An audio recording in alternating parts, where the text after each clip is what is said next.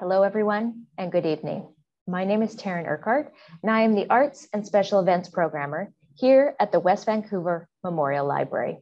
On behalf of the library and the West Vancouver Art Museum, I would like to welcome you to tonight's Art Talk.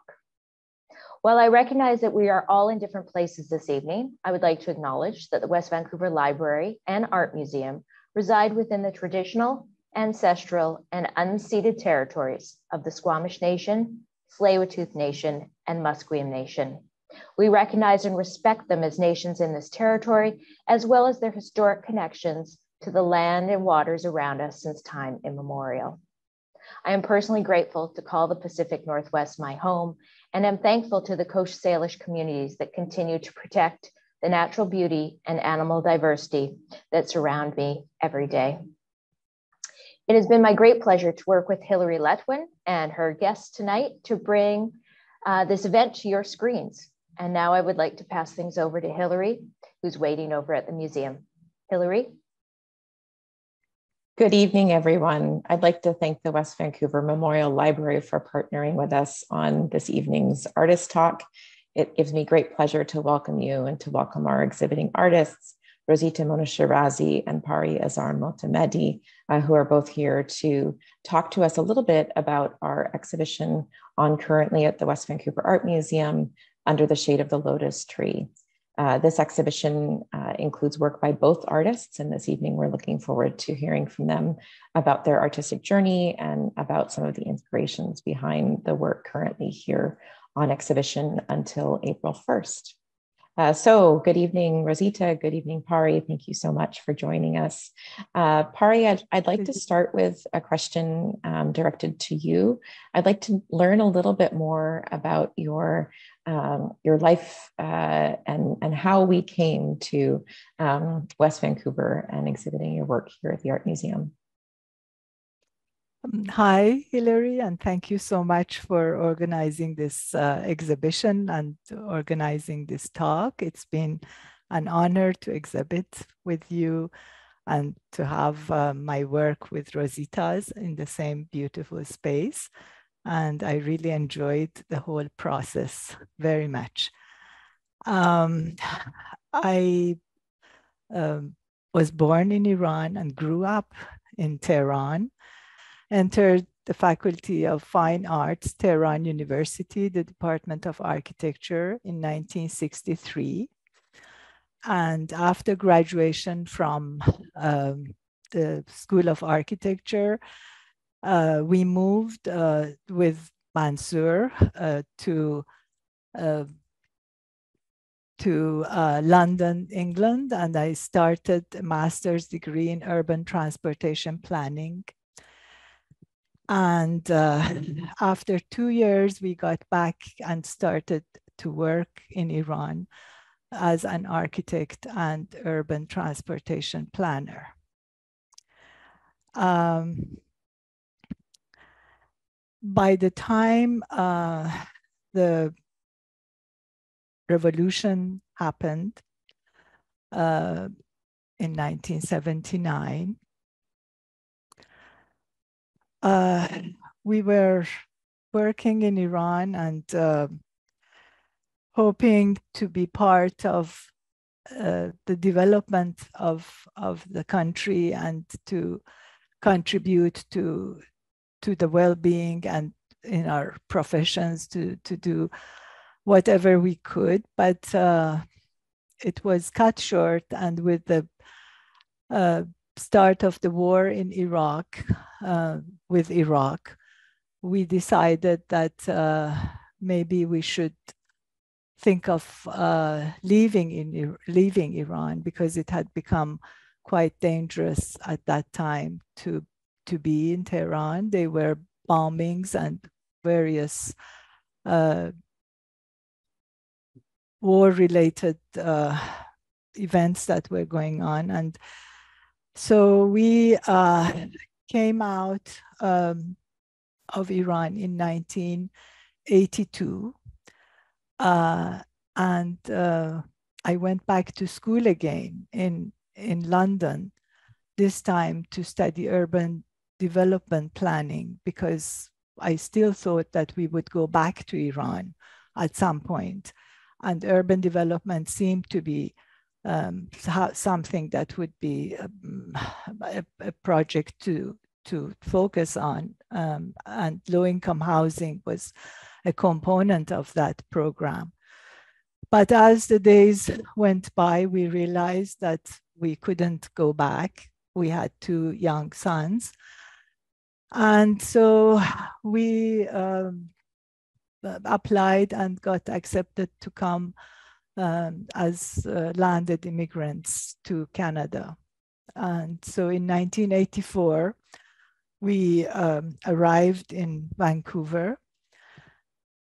And at that point, uh, there was a big recession here and really no uh, no opportunities for work as an architect uh, in the immediate time that we had come. And I was actually very, very depressed because of what was going on in Iran.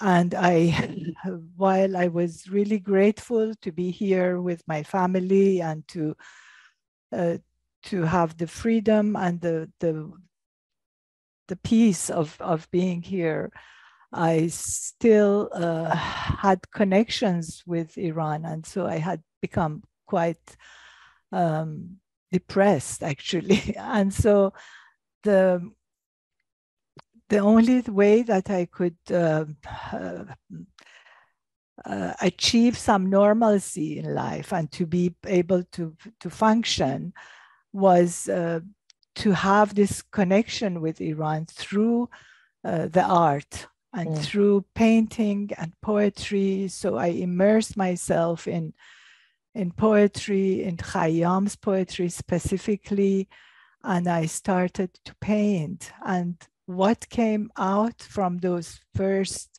several years was uh, my connection to architecture and to, to the spaces of Persian gardens, which were um, very much in my in my psyche and and and uh, th- those were the spaces that gave me most pleasure when I was there. And so they emerged in my artwork the, the geometries the, the the foliage the the whole architectural space of these gardens.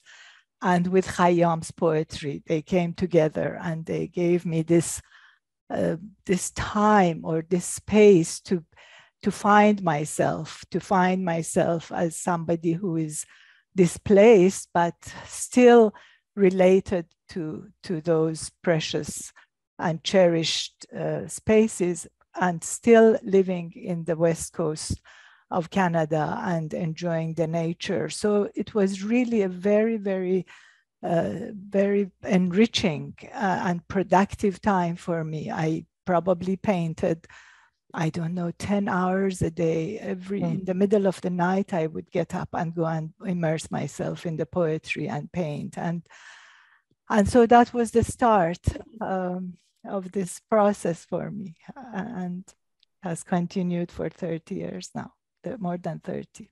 Yeah.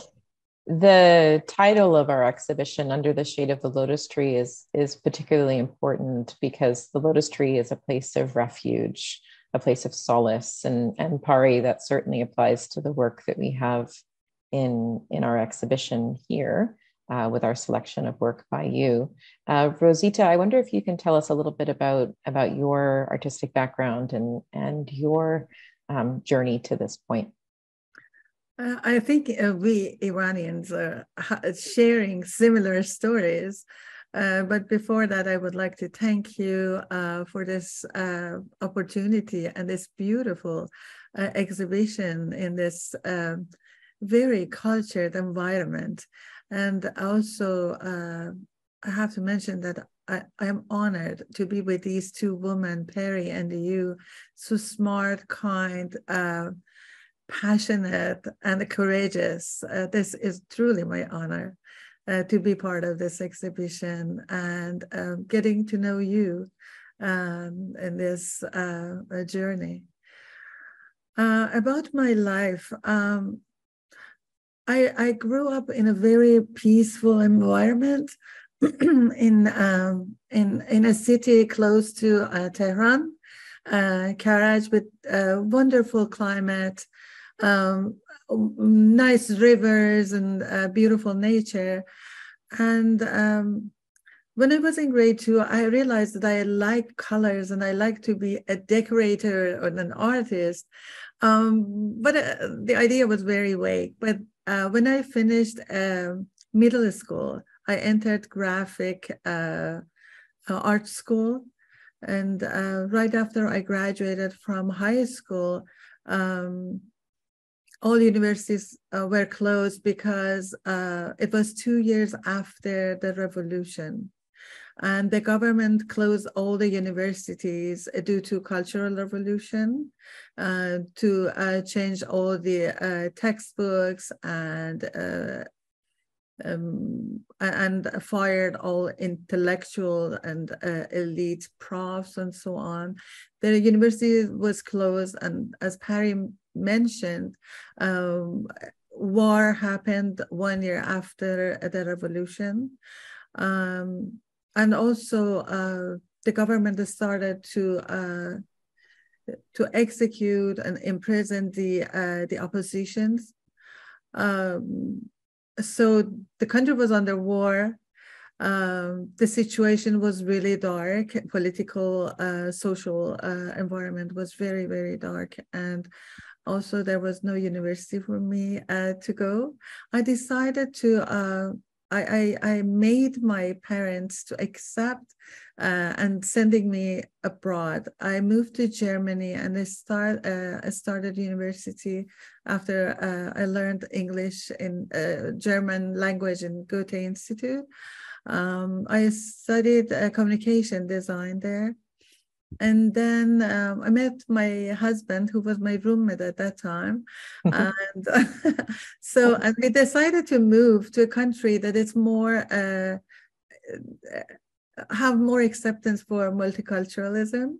And we decided to come to Canada. Um, I left Iran in 1984 and I moved to Canada in 1990 with my husband and the little son. Um, here I learned the language again and uh, studied uh, at Emily Carr University. Um, first Langara, I got the diploma and then uh, transferred to Emily Carr University. After I finished university in 2003, we moved back to Iran because I, I, I came to to um, abroad just just because I wanted to study and go back to my country. Mm. So the idea was always with me. So I wanted to go back, and I moved to Iran in nineteen uh, in two thousand three, and I stayed there until two thousand six. Mm-hmm. And there I uh, met so many wonderful people, artists and educators, and uh, I had uh, the opportunity of study illustration I, I got my master's of illustration in Iran, and I, I think the country is really rich in that. It has over 5,000 years of history uh, of illustration um, from the uh, art on clay, illustrating life of people on clay, carpet, uh, you name it, um, and books and scripts. Um, so uh, I think I was very fortunate to have the opportunity of study in Iran. And when I moved back, and along the way, actually, I have always been teaching, teaching art. And um, when I moved back and seriously started to teach, uh, I realized the students, uh, usually art students, quit after they graduate. After a few years of struggling, they they they quit. So that became uh, something very important to me and i wanted to study further and, and, and get answer for my question. And i applied for a phd program at the university of victoria.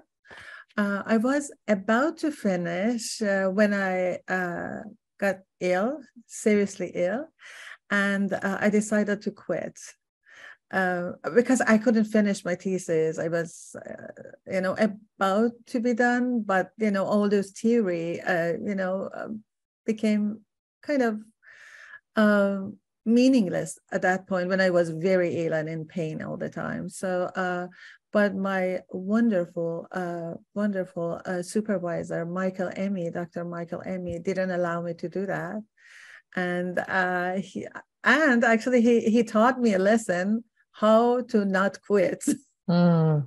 So actually, in a, in a practical way, actually, and and uh, he organized a program and uh, they offered me the Masters of uh, Art Education from University of Victoria. And uh, also I've been teaching at Emily Carr University since 2009. When they started the uh, program of illustration, they invited me to teach there. And since then I've been teaching, working, and being involved with their programs. Hmm. Thank you so much, Rozita. It's, it's such a pleasure to, to work with you and with Pari for this project. Um, I'd, I'd like to talk a little bit about poetry. Uh, you, you both have touched a little bit on the importance of it in your work, mm. and it's, uh, it's certainly very present in our project. Uh, and um, it gives me much pleasure to see. I'm, I'm looking out at the gallery right now, and I can see all of our label texts, uh, not just in, in English, but also in Farsi. And we've included the poems that have informed your work. Uh, Pari, you, you mentioned that, um, that you were seeking solace in, in poetry when you first came to Canada and that that was infusing itself into your work. I wonder if you could speak a little bit about, um, about the poetry that we have uh, included here in the exhibition and and how, on a practical level, it influences you. Um, are you taking poems and and illustrating them in your mind, or is there a slightly different process going on? Pari, do you want to speak to that first? Yes. Well, thank you for that excellent question. Poetry is such a big part of the Persian psyche. Everybody recites poetry. It's it's a way of communication between scholars and between everyday people. In families people uh, would uh, have quotations of poetry if they want to convey something uh, that uh, that it, that deeply affects them. So and we have all these uh, you know poets from thousand years ago um, who have given us this wonderful heritage. So it was, uh, for me, there was no, um, uh, it wasn't something that I decided to do, but it was something that that was part of me. And, and Khayyam was such a big part of my family's tradition. And my, my father always had a Khayyam, a worn out little book that, that I took with me. Um, and, um, and the lessons of life were there. Um, my father was not a religious person at all. And Khayyam was, uh, was his, um, his uh, intellectual and spiritual place. And so that was uh, why I started with Khayyam but um, uh, and and it was it wasn't really uh, at all the uh, the surface um, or, or, the words of the poem that inspired me. It was the mood of the poems, the the the way he speaks of nature and being in in the moment and enjoying what you have and and um, not to dwell so much on the things that you don't know and that are beyond you, but to be here and present and and um, connect to that beauty.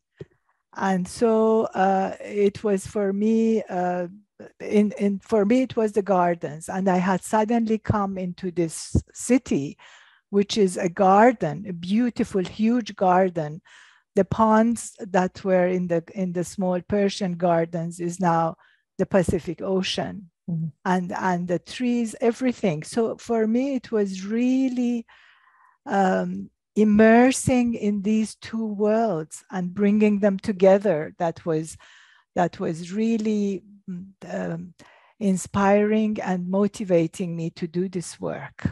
Um, uh, then, uh, in one of our trips to Iran, uh, I picked up a book by a poet who I didn't really know that much, um, a contemporary poet who is now in his late 80s and is still living. Um, and he is uh, Shafi'i Kadkani, Muhammad Reza Shafi'i Kadkani.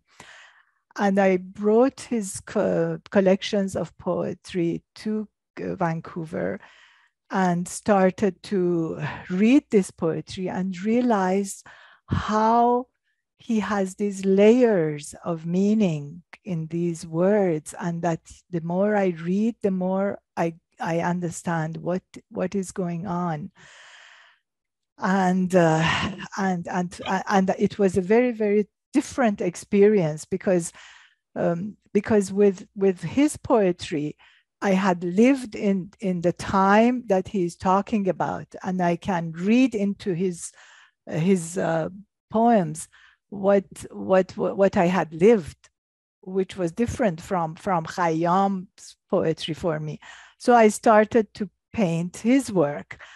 And um, uh, after I had done about 10 or 11 paintings, one day I told Mansour, my husband, who used to travel to Iran at the, that time, I said, you know, this poet doesn't know I exist in this world, and I'm always immersed in his work. Is it mm-hmm. possible for you to find him and show him? Because I feel terrible about painting these poems without him knowing that I'm doing this. So he um, took these paintings on a disc to Iran and with the translation of the poems in English because I had started to to translate them into English because I wanted to really understand them and and putting them into a different language for me was part of the process of painting them really. So Mansour went back and met uh, him through a mutual friend who was a publisher. And he immediately was so uh, supportive of this work he wrote uh, a letter saying that you can translate all of my work into English and, and into paintings. And very soon uh, after that, about a year after that, I was still in the process. I had painted some paintings and, and translated. And he um, suggested that we publish this work in Tehran, which was for me very too early, really, but they were in such a hurry to, to publish the, the paintings with the, with the translations. And uh, uh, I was trying to find a, um, he suggested, of course, that I find a poet who is um, also uh, conversant in Farsi and English, and to um, uh, to ask him to edit my work. So uh, he suggested uh, that I um, uh, that I uh, connect with um, uh, with an English poet who has translated Hafiz um, and and very well known. He has a Persian wife. Um, do you remember his name now? I can't. Anyway, he didn't he said i have no time so that uh, and then in in in a conference in uh, we were together talking yeah in in a conference in vancouver we were talking with rozita and i was saying that i have uh, i have to find an editor for this uh, work an english speaking editor and suddenly the speaker who had just uh, spoken about his translation of Rumi's poetry was standing behind me. And he said to me, you know, I can edit your, your uh, English translations.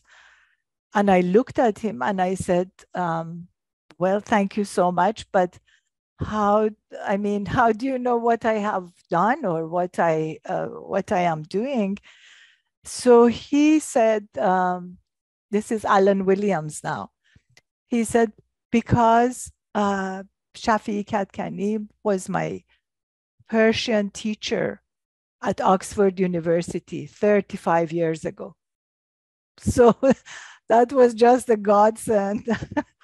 and he wrote a letter to Shafi Kadkani, which I took back. And so that was uh, that was how that part of the work um, continued. And he became the editor, and the book was published, and um, it got an award in translation a few years afterwards. And then I have been painting his work for about um, all these years. I mean, I have probably painted about um, just just less than a hundred of his of his poems. And then, of course, I moved into trans into translating and working on the work of Sohrab Sepehri and Mehdi Akhavan Sales, whose work is presented uh, behind you my my interpretation of his one of his important poems and um, um, you know i have been extremely extremely lucky to have this really this treasury of of thinkers and poets who have given us so much and i could live many lifetimes and work with these and still have more more inspiration and more work to do. So it's just been uh, an amazing um, amazing opportunity to work with these poets. It's it's wonderful to hear uh, how this process of translation has has really permeate, permeated your visual process. Um, you're not just translating the the verses, and I I loved what you said about how um, translating the poems into English gave you a, a, deeper understanding of the of the poetry. Rozita, I, I I'd like to speak also about your incorporation of poetry and and it acting as an inspiration for your work. Um, the main uh, series of works that we have that we're exhibiting by you are, of course, based on a very important poem, The Seven Valleys, uh, I'd love to hear a little bit about how you worked with this poetry, how it, it, it is similar to the way Pari has in her work, and how perhaps it's a little bit different as well. Um, obviously, each individual had uh, a specific, a specific ways of connecting with poetry because it's very, very poetry, uh, personal, and especially because it's uh, it uh, contains lots of metaphors and it goes back to the history uh, of the life of each individual and their observation from the poetry. Um, it, it, changes the meaning completely sometimes. Um, but the part that uh, my father was also in love with Khayyam uh, is very similar to Pari's. Mm-hmm. Uh, I remember in 1986 when my father visited me in Germany and I was complaining and, you know, talking about being alone and so on. And it was the time that uh, Mohammad Reza Shajarian um, um, uh, had a, a, cassette came uh, out at that time.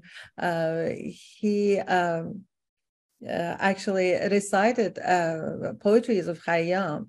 My, my dad played the music and said, look, we live in a moment, in this moment. Don't think about tomorrow. Let's enjoy the time together. And uh, so poetry in my family was a part of our uh, ritual. My mom also writes poetry, um, and they, they, they, they've been involved uh, with it a lot. And obviously, uh, uh as a child, uh, as an oldest child, uh, I have been always influenced by Persian poetry in our household. Uh, but later on, uh, when, when I started to read poetry myself, uh, the idea of self-absorbent and and also the metaphor actually uh, haunted me the most. Uh, so i was so inspired by finding the meaning behind uh, chains of words. Uh, for several years when i was younger i couldn't get it at all. Uh, but the mystery actually uh, really uh, um, made me uh, look for the magic of using uh, literature in Persian poetry.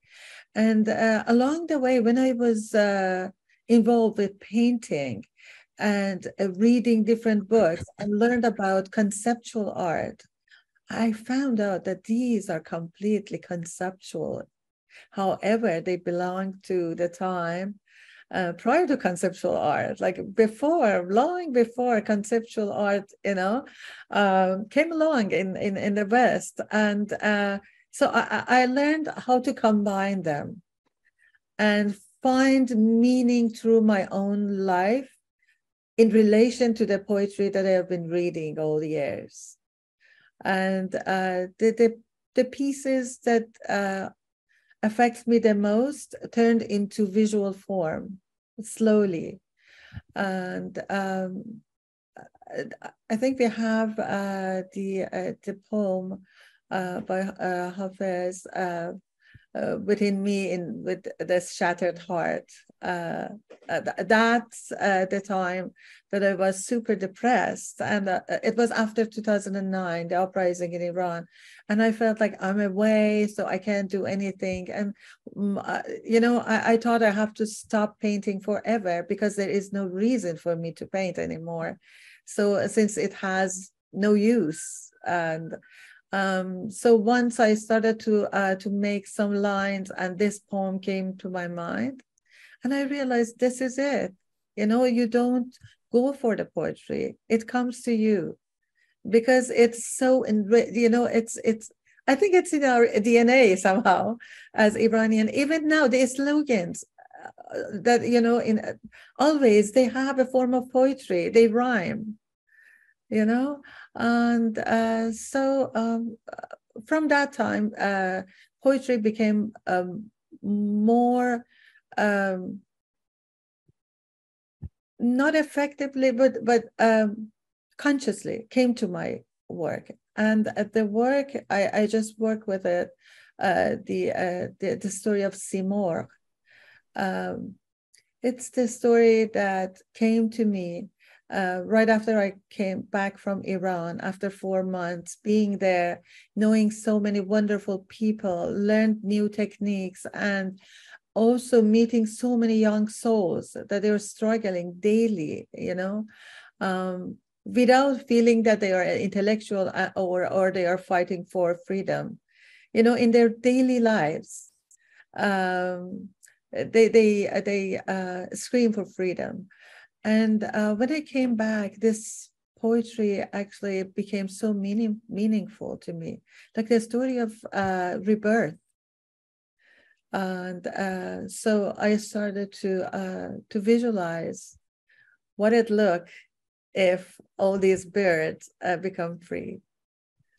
Oh, and, and, I was also wondering how, in this dark time, all the, these glitters and bright colors come to my canvas while I'm I, am i I'm in tears listening to news from Iran. Uh, so and I, I I think the idea of rebirth and uh, and its truth in in the uh, the poetry of uh, Attar actually made me work this way. So I, would like to talk a little bit more, Rozita, about the technique that you employ in the work, much of the work that we have exhibited. Uh, mm-hmm. you've used reverse glass technique. And as you mentioned previously, you were in Iran for four months uh, in the middle of 2022. You were there for the summer months. Uh, and um, I'd like to, to hear just a little bit about the technicality of how you do reverse glass painting. It's, it's not straightforward and something that I'd love our viewers and our visitors to understand a little bit better. Um, can you explain how reverse glass technique works? Uh, sure. Um, actually, when I, um, I, traveled to Iran, I had a, uh, a, a Tehran tour uh, and I visited um, old houses uh, with a wonderful uh, design windows. The, the part of it was covered with uh, uh with paintings, and the style was uh, reverse glass painting. Um, at that time, my plan was uh, to learn traditional mirror work, which I learned. But it, you know, in the corner of my mind, what you know, I was so inspired by those paintings. Uh, after I learned uh, glass work, I, I I felt like I need to incorporate glass with the, with mirror work. So, and, and sometimes I need color for my glasses. So, and uh, how can I do that? And uh, I, I accidentally uh, came across a wonderful master. His name is uh, Mohsen Bani Asadi, who uh, is uh, one of the leaders of uh, the uh, Museum of Reverse Glass Painting. And uh, I, I, contacted him, and he generously offered me to teach me how to work uh, and this, uh, with this technique. And I and he was also he is uh, the curator of a gallery in, in Tehran. And after gallery was closed every day, so I visited him there, and he taught me uh, different techniques. Um, how the technique works. Um, you uh, pick a piece of glass, usually two mils or three millimeters, um, not so thin because it breaks very easily, and um, clean the glass. And then use Rapidograph, which is a, a, a, technical pen, which I have it here right beside me. It has a really, really a thin point. It, it, it uh, looks like um, um, a, a, needle, very, very thin, a 0.10, 0.15. It's very thin. Um, you clean the glass and then uh, have your uh, drawing ready on a piece of paper. You overlap the glass on top of the uh, paper and start uh, outlining uh, your uh, drawing. So this is very thin, but the traditional way of working with glass uh, is different. They used uh, very thin brushes. Um, thin brushes uh, are hard to use and also at the same time easy to use because it, it has some sort of thickness and it will create a nice border between different colors. Whereas these thin uh, pens, um, they have no borders basically. You have to be very careful when you want to create borders and margins uh, between the two colors. And sometimes i passed the border and i had to clean my uh, glass with needle uh, to clean the parts that i you know made mistake. Uh, after you finish the uh, um, outlining you have to cover your uh, glass with oil and some sort of uh, varnishing oil and uh, oil thinner. Um, uh, leave it for a few days to get dry and makes your lines secure. And then you start using powder paints, which you can see them in here, uh, and or um, oil paint. Um, but I added uh, glitters, uh, uh, mixed it with oil.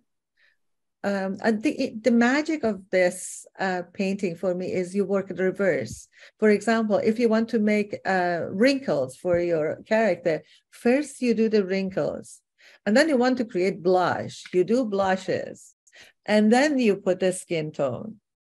It, it's, you know, it was very difficult for me to reverse all my training and start from uh, the details first. Um, and, also the problem is if you make mistakes or you change your mind, there is no way to go back to it. And um, that's all. And then you leave it for a while to get dry. And after a month, you cover the whole thing for the background uh, with uh, white paint and secure the whole painting it's a very painstaking process and and quite extraordinary. And and i should think so interesting as you say to reverse your training and to to build the surface first and work backwards. Yeah. uh, they're they're beautiful works. Um, Pari we've we've had a number of visitors ask about your uh, practical techniques as well. You work in watercolor Uh, and um, the piece that that is behind me, actually, the the City of Stones, um, is is very large. Uh, and uh, I'd like to hear a little bit about how you work in watercolor uh, and building up your layers. You you had previously said that the blue sky and the work behind me was an incredibly difficult, uh, consistent tone to achieve. Can you talk a little bit about your watercolor process? Yes, um, thank you, Hilary. Yes, it's. Um, I really enjoy working with watercolors, and um, I have tried at different times to to work with um, the other media, um, oil and acrylic, and it never gave me the pleasure of working with watercolor.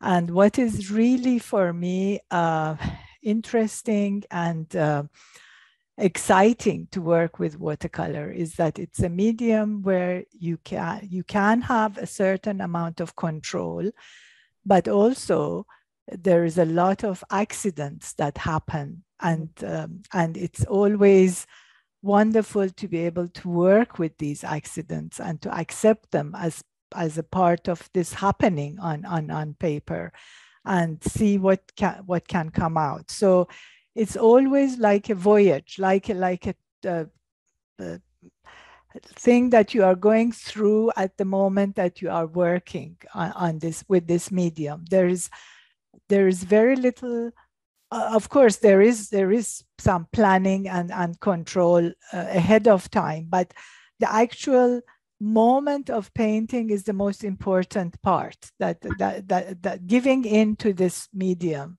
and and see play with it all the time to see what you can achieve with this. Um, in the beginning when i worked with smaller pieces of course it was it was different. It was uh, um, more more possible to to to to work with this medium and there was a lot more control in them. There's a lot more uh, specific geometries that are happening. But as i started to work in bigger pieces which i loved when i when i started to do this it became really really challenging but also very very exciting so with watercolor, you have to work on a flat surface. So you have to have these um, uh, large pieces of uh, very thick watercolor paper, which I do stretch. I, I um, uh, soak it in water and, and stretch and tape it to, to my board so that it's completely flat at all the moments of painting. And uh, um, to and then I start to to work with uh, with the um, colors and and um, my my first um, my first um, uh, moment is actually to do the the, the outline the outline um, the architecture of the piece is what I do in in uh, pencil but but a lot of the things that you see is actually happening without any pre-thought and without any pencil. So for example, in the background, uh, the painting in your background, all of the, the, the, the form of the tree, which I have there, the, the, the, the lotus tree is uh, actually my brush and uh, I use for that specific part of the painting acrylic ink. And and spontaneous because I can't really draw those lines in paint and try to to uh, follow the line because then it will become a very weak and and um, um, weak line if I want to do that. But when I when I just play with that, mm. you know, it becomes much much uh, more um, spontaneous, spontaneous to, to work with those. And um, then uh, comes the, the time to put the paint on. Somehow, from the very, very first paintings I did to the to today, the very first color that I have used in these paintings is blue.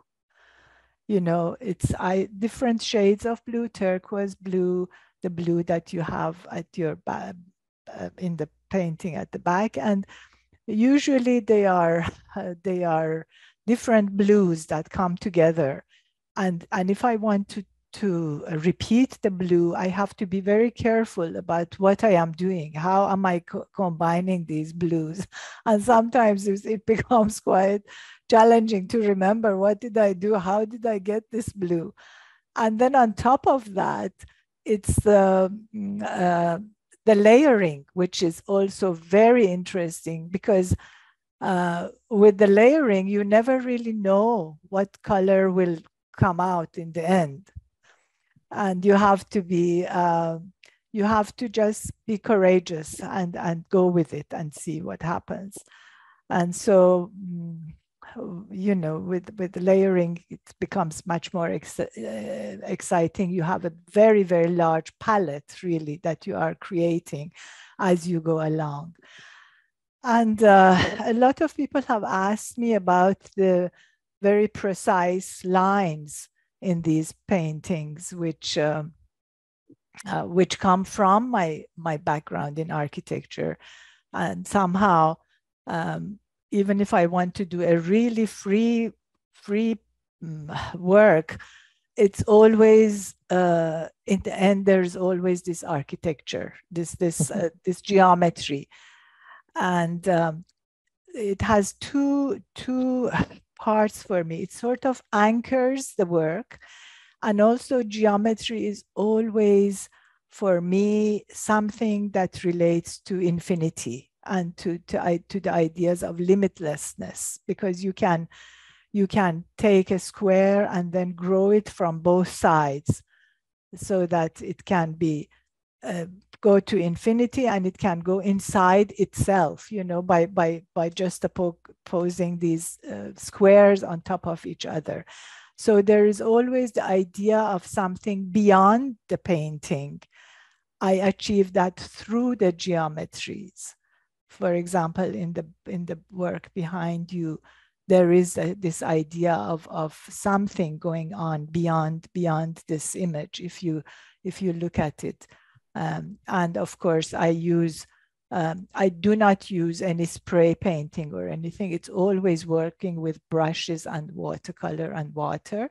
But I do use um, the architectural, the T-square, um, and uh, it which has an edge, so it's sitting above the above the uh, the paper, and I wet the, the area that I want to work with, either with water or with a paint. And then I go with a very fine brush, but guided with the T, uh, T square um, so that it becomes a line, but it doesn't, it doesn't stay as a line because it's wet on the other side. And so it becomes a graduated color. And so, um, so that's, uh, I mean, with watercolor, there is so many things that you can experiment with and discover as you work. It's it's always like being in a class or in a but but you are the the medium is actually your teacher. The medium and the paper and the accidents that happen teach you this is how it happens and this is how you can continue learning. Thank you for that explanation, Pari uh, as I say, a number of our visitors have been very curious about the techniques behind the work in the exhibition. Thank I think you. this is probably a really good place to conclude our conversation this evening, as much as I would love to keep talking. Uh, I know there's so much more that we could say. Uh, I'd like to thank you both for joining us this evening and, and talking about your work. Uh, we are very excited to have produced a publication for this project, uh, which has which has me, excuse me, which has uh, two essays, one by Hussein Amanat about Pari's work and one by Astri Wright about Rozita's work. Uh, and that is, of course, available for purchase here at the Art Museum, uh, along with Pari's uh, publication uh, about which we spoke earlier. We have copies of that available for purchase as well. Uh, so I would invite viewers, if you have not yet come in to see uh, the work in our exhibition under the shade of the lotus tree, please join us. We're open Tuesday to Saturdays from 11 until 5. Uh, and this exhibition is on until April 1st. Thank you very much and have a nice evening. Thank you so Thank much. you. Thank you so much, Hilary. Thank you. Thank, Thank you. you. Bye bye. Thanks.